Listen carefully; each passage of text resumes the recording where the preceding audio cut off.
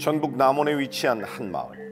그래서 젊은 사람들도 많이 죽었어 여기, 여기 동네. 그 귀신이 꺼잡아 댕겨서 물에서 죽었다고 그래. 그 자리만 가면은 좀 썸 뜨던 생각이 들었. 지금 무섭죠. 뭐 빨간해가지고 피가 노파구에 흘러가고 그래 피바오여라 흉흉한 소문의 진원지.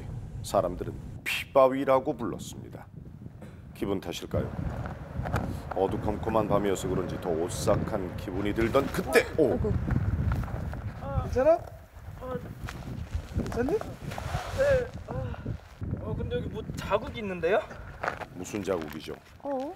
뭔가 이상합니다. 바위에 보이는 선명한 붉은 빛. 오 정말 분명 빨간 빛을 띠고 있습니다. 빨간데요 지금? 대체 이 바위의 정체는 무엇일까요? 피바위라 불리는 의문의 붉은 빛을 띠는 바위. 이 바위에는 어떤 비밀이 숨어 있는 걸까요? 피바위요. 다음 날 어젯밤 의문의 바위를 발견한 그 장소를 다시 찾았습니다. 야 진짜 빨갛네. 시뻘겋네요. 밤새 내린 눈으로 하얗게 덮인 바위. 하지만 붉은 빛은 여전히 눈에 확 띄는데요. 자세히 살펴보니 정말 붉은 빛이 선명해 보입니다. 대체 언제부터 이런 붉은 빛을 띄었던 걸까요? 아주 아주 옛날부터 밝아져고 우리는 전혀 모릅니다. 여기가 언제 밝아졌는지를. 지금 무섭죠. 뭐 빨간해가지고 이거 빨간색을 칠해놨는지 피바위에 대해 온갖 추측만 난무할 뿐 정확한 실체에 대해선 알 수 없다는 사람들. 그런데 우연의 일치일까요? 문제의 바위 근처는 사고 다발 지역이라고. 어이구. 여기서 여러 건 났어 여러 건 났는데 차가고만 뒤비지기도 하고 죽고 젊은 사람들이 많이 죽고 뭐 교통사고로 막 이랬던 어, 저던 간에 얼평이라고 근데 오토바이 타고 가서도 죽고 어. 지나가던데. 한꺼번에 일곱도 죽었대. 주민들은 동네의 원흉이 모두 이 피바위 때문이라고 믿고 있었는데요. 안 닦여요. 이 바위 때문인 걸까요? 뭐죠? 어 묻어나요?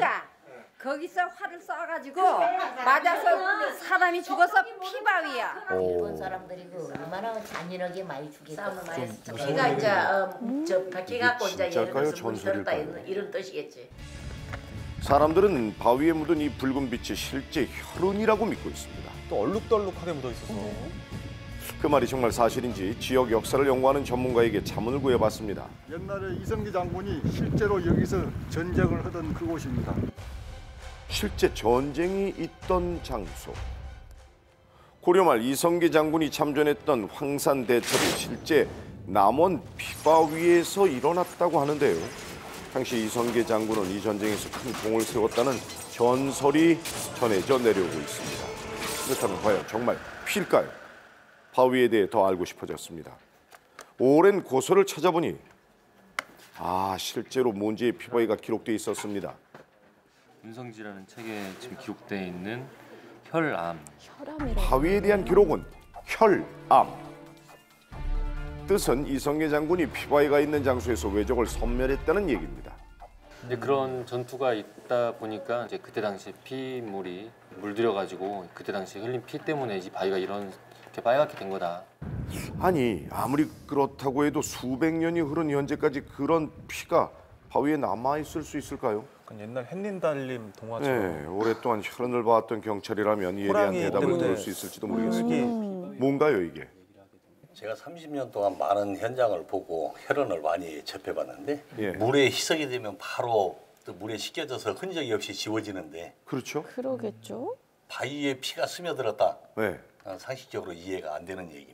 아 그런가요? 피가 스며들기란 힘들 거라는 얘긴데요. 바위의 어떤 특성. 그럼 바위에 스며든 붉은 빛이 도대체 뭘까요? 피가 아니면 암석 전문가를 모셨습니다. 세밀하게 바위를 살펴봅니다. 어떤가요? 이 혈흔이 맞나요? 자세히. 아, 피는 아닙니다. 아 대체 피가 아니에요?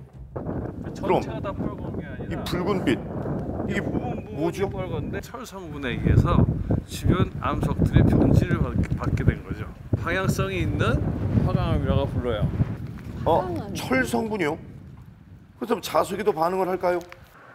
실제로 실험을 한 결과 자석을 따라 오 자유자재로 움직이는 바위. 이 암석이 만들어질 때 공급되는 철 성분에 의해서 아, 그것이 산소와 만나면서 이렇게 붉은색을 띠는 광물을 만들어서 나오는 색깔입니다. 아, 철 성분이 많은 암석에 공기와 수분이 만나게 되면 산화 작용을 일으켜 녹슨 인해 것처럼. 바위가 붉은 빛을 띈다고 합니다. 그러니까 일종의 녹 같은 건가요? 실제로 피바위는 물에 잠겨 있기 때문에 산화 작용을 쉽게 일으킬 수 있었는데요. 음, 그런데 정말 철 성분이 많아서 그런 걸까요? 전남대학교의 도움을 받아 실험을 해보기로 했습니다. 일반 바위와 비교해 본 결과 철 성분에 있어서 확실한 차이를 볼 수 있었는데요. 일반 바위보다 약 10배 이상의 철 성분을 함유하고 있었습니다. 바위에서처럼 이렇게 철 함량이 높게 나온 것은 뭐 좀 흔하지는 않을 것 같고요. 흉흉한 소문의 진실이 밝혀진 날 마을 사람들은 피바위가 있는 곳에 모여 마을의 안위를 빌었습니다. 피바위로 인하여 어, 이를면에 정말 그 아무 일도 없고 아무 사고도 없고 아, 작은 사고도 없었으면 좋겠습니다. 세월이 흘러도 변하지 않는 바위의 붉은 빛처럼 오래도록 그 전설이 계속되길 바랍니다.